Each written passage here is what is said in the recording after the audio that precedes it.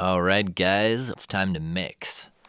This process is very, very important because at this stage in the game, you have to remember one thing the better your mix, the better your master. The job that we do now is going to greatly determine what the final outcome of this piece is going to be.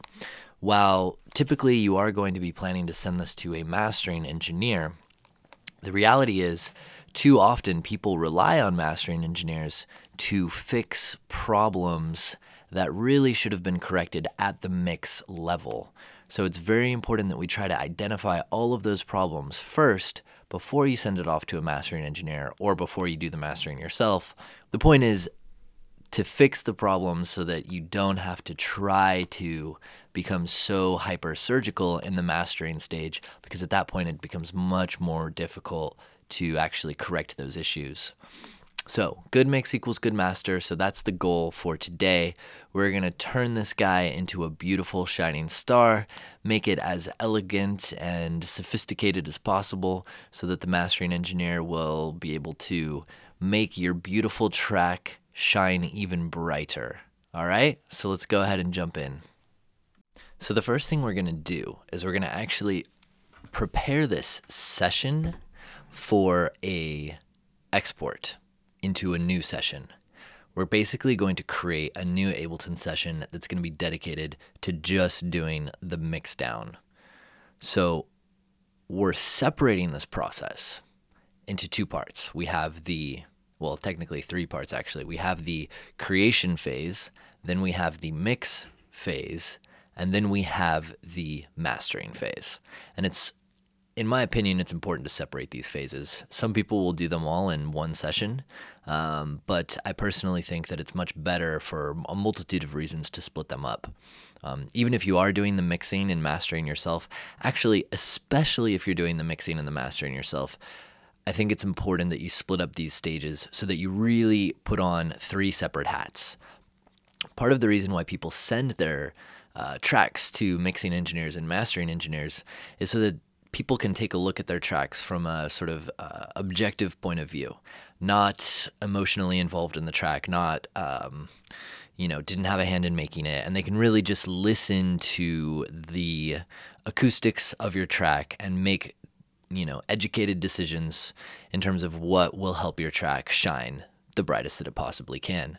So if you're going to be doing that yourself, uh, I think it's definitely it's three different hats it's three different mentalities and so splitting them up creating new sessions for each stage will help you do a better job and execute um, the basically what's the job of three people as one person so basically the thing to keep in mind as we delve into this and prepare it for export is that once we get to the mix phase and then especially once we get to the mastering phase um, any potential problems that are in those later stages um, that could have been solved here in this stage where we're still in the original multi-track uh, recording, it's going to be much more difficult to try to fix those problems later. So it's always good to really make sure you've gone through this, listen to it over and over and over again, go through it with a fine tooth comb, and really make sure that you're prepared to progress to the next level at an appropriate time and try not to rush that process because it's very difficult to go back. Um, it's you can always take a little extra time. You can always sit on it for another day.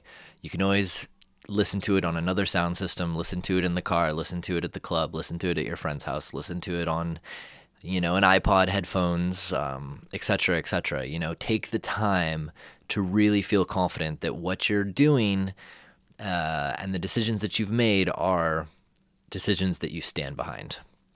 So once you feel confident, boom, you can come to the phase where we are now, which is the mix phase. So basically what we're gonna do is we're gonna export these tracks and create this new session as we've talked about.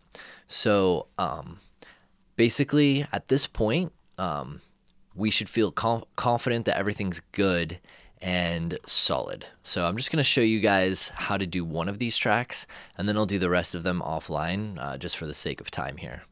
So um, the cool thing is because we already split these up into groups, kind of our work is a little bit already done for us.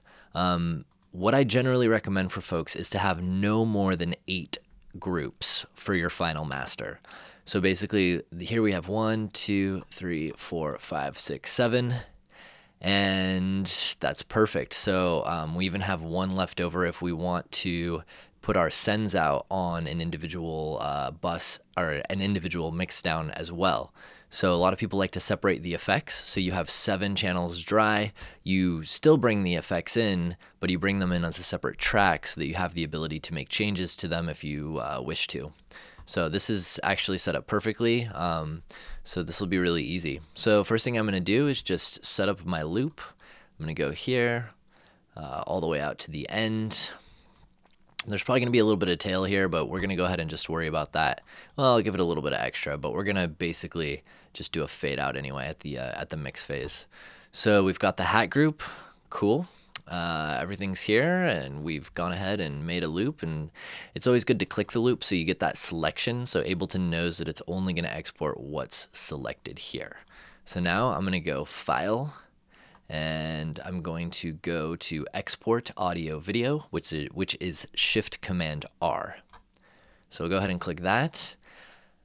Okay, so if you really want to do this properly, um, you should really set your bit depth at 32 bits.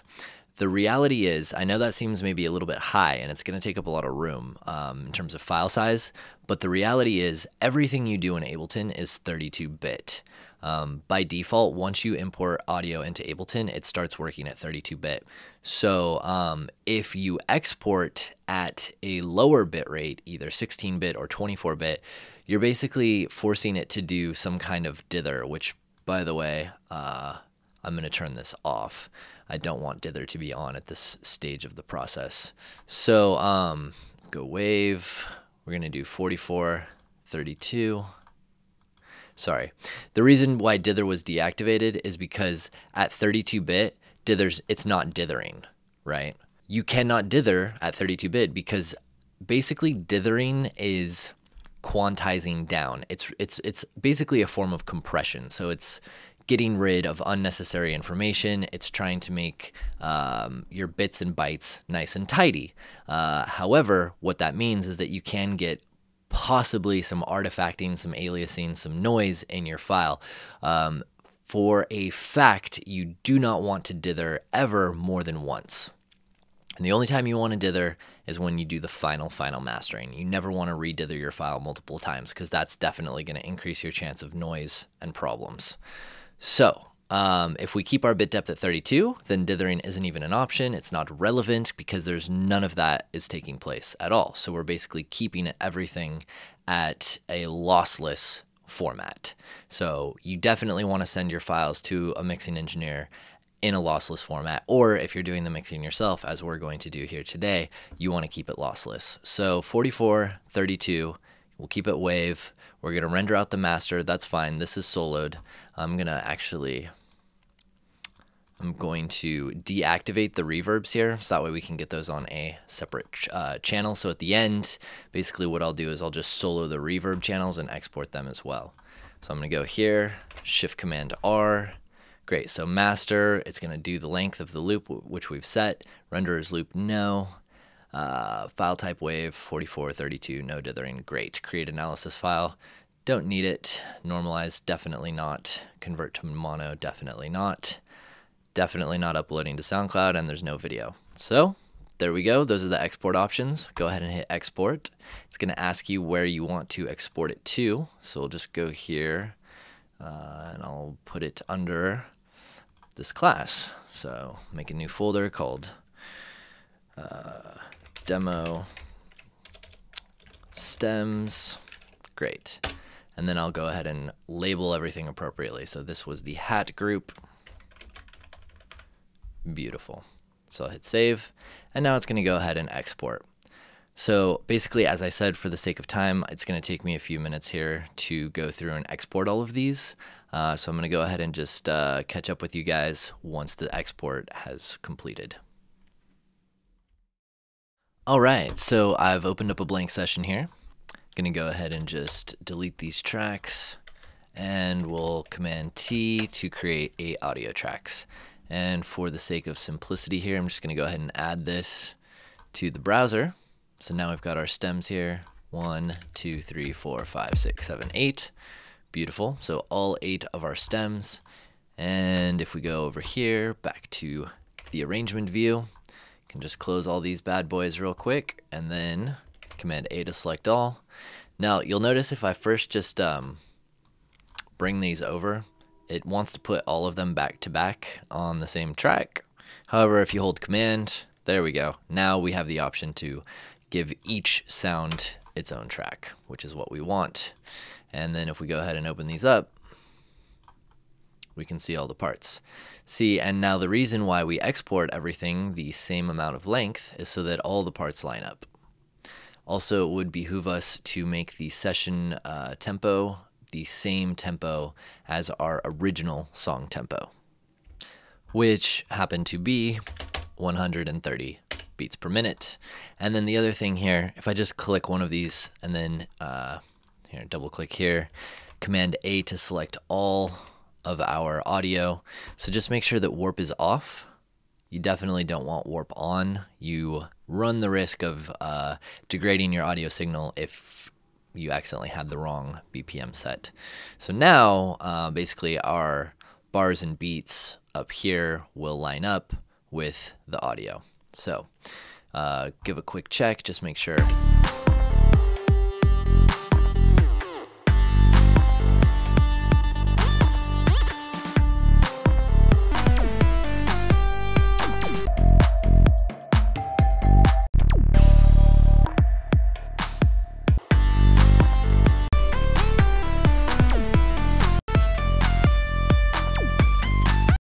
Great.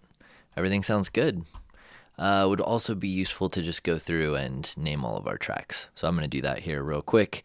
Uh, for the sake of time, I'll spare you. Okay, awesome. So we've gone and just named all of the uh, the tracks here so that we know exactly what everything is. So pay close attention here. There's something that I want you guys to notice. See how much headroom I have? There's a lot of headroom here. Everything has plenty of room. At this stage of the process, this is very important. Um, I see a lot of people give me uh, tracks or give, you know, mastering or mixing engineer folks tracks that are just already just absolutely squashed. I mean, they look like, you know, like that. Um, if your track looks like that when you're in the mix phase, you have no headroom you know, there's nothing to work with really. So it's important that you make sure that you have plenty of headroom at this uh, stage of the process.